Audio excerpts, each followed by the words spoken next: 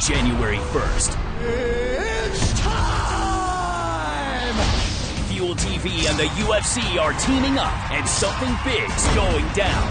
The wait is finally over! Bringing you more UFC coverage than any other network. And it all starts with an unprecedented 24 hours of UFC.